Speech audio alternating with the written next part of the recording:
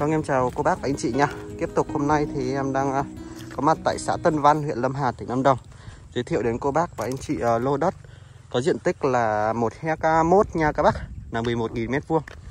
À, đất có cái giải đất rất là bằng luôn. Nó cũng là nguyên một quả đồi bằng các bác. Đây là toàn bộ cái view của mình đây. Cái view trước đất của mình nha. Đó rất là thoáng luôn. Đất của mình đây là chạy tới đây là cái con đường này con đường có hiển thị trên sổ nhá đó chạy thẳng vào tới cái nhà kia nhà kia là của người khác nhá, như em có vẽ trên flycam các bác. Đường này là đường đi thẳng vào trong đó là hết đất rồi là hết đường rồi.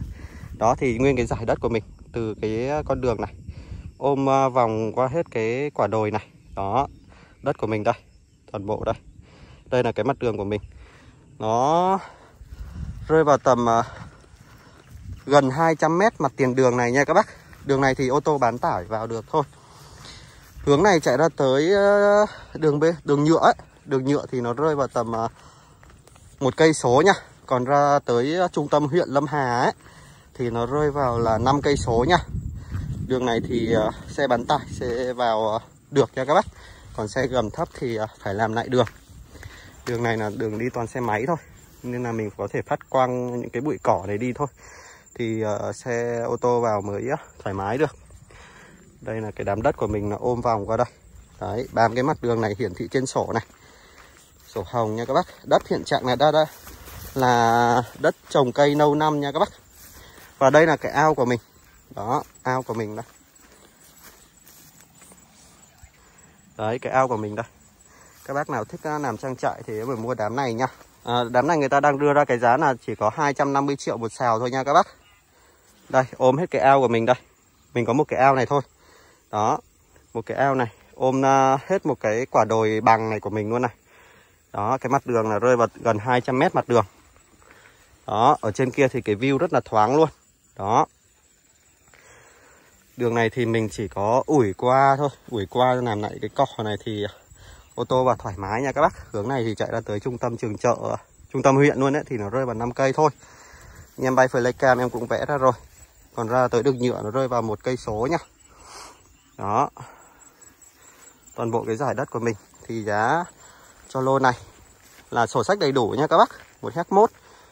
À, mặt đường hiển thị rất là dài luôn. Rơi vào gần 200 mét á. Thì đang bán với cái giá là chỉ có 250 triệu trên 1.000 mét vuông. Đang cần rất là cần bán nhá. Đất thì đang trồng cà phê thôi. Đó các bác nào thích làm trang trại cái đám này. Thì à, vào thương lượng à, với chủ đất nha. Giá khá là rẻ nha các bác. Đó. Sổ hồng riêng hết rồi. Đây là cái trục đường chính nhá chạy thẳng vào trong đám đất của mình thì nó rơi vào tầm khoảng à, 7 80 mét thôi. Đây, cái đám đất của mình đây. Đó, cái ao ở ngay chỗ này này. Đó, cái đám đất của mình đây. Đó, đây cái nhà ở cuối đất của mình này đó. Cao ngay khúc này này. Thì đây là cái con đường à, đường à, ngoài này là đường đi liên thông nha các bác. Đường đi liên thông luôn.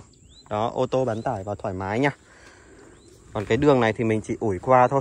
Tại cỏ nó mọc khá là nhiều. Đó. Còn cái đường à, đường đây thì trục đường chính ngoài này là đường đi liên thông hết. Chạy thẳng ra ngoài chợ hay là chạy thẳng ra tới khu vực dân cư thì à, huyện đó các bác, thì rơi vào 5 cây số. Đường này thì ô tô bán tải vào thoải mái nhá đó, ngay kèm đám đất của mình đây. Đó. Máy bay bay qua này. Rồi, em cảm ơn các bác đã dành thời gian theo dõi nha.